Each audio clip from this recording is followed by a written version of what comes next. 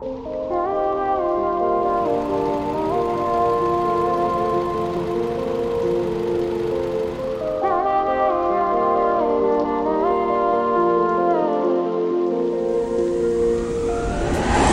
mein Name ist Andreas Schrader. Ich komme aus Salzgitter, habe dort einen landwirtschaftlichen Betrieb, bewirtschafte dort einen landwirtschaftlichen Betrieb und bin im Grunde hier als Mitgeschäftsführer der Rode Gemeinschaft Nordharz.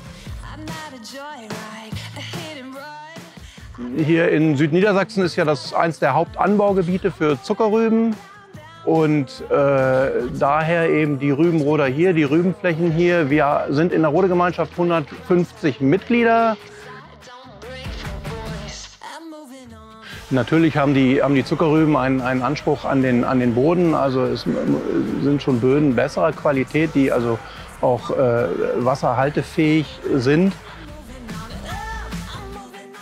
Ähm, die, die Rübenflächen werden im Herbst im Grunde schon vorbereitet. Die Rüben werden im Frühjahr gesät, also sprich im März, April.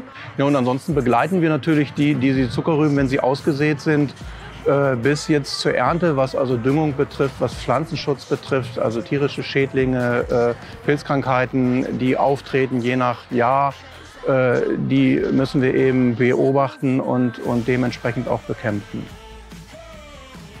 Das sind Mittel, die langjährig getestet sind, die, die also nachher bei der Ernte überhaupt nicht mehr, nicht mehr in, im Rübenkörper vorhanden sind.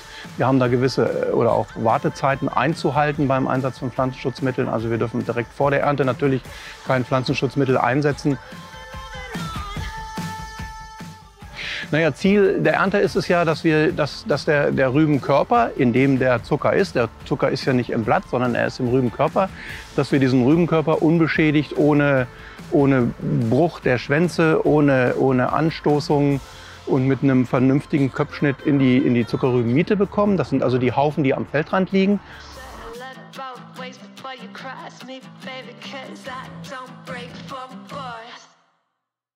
Ähm, und dafür äh, ist der Roder im Grunde ausgestattet mit einem, einem Schlägler, der vorne erstmal grob das Blatt abschlägelt und zwischen den Reihen ablegt. Das nennt sich Integralschlägler. Danach folgt äh, so ein exakt Köpfschnitt. Dann wird also nochmal der Strunk, der oben auf der Rübe noch steht, wird nochmal glatt abgeschnitten.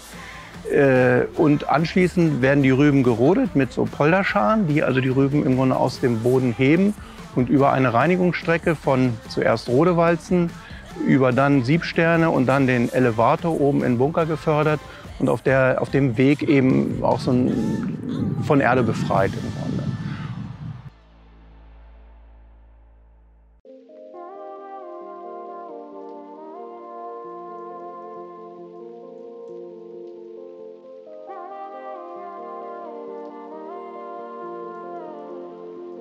Indem die Zuckerfabrik die Rüben, die dort ankommen, äh, noch einmal reinigt mit, mit einer gewissen Wasserstrecke. Dann werden die geschnitzelt, also mit einer Schneidmaschine ganz klein geschnitten.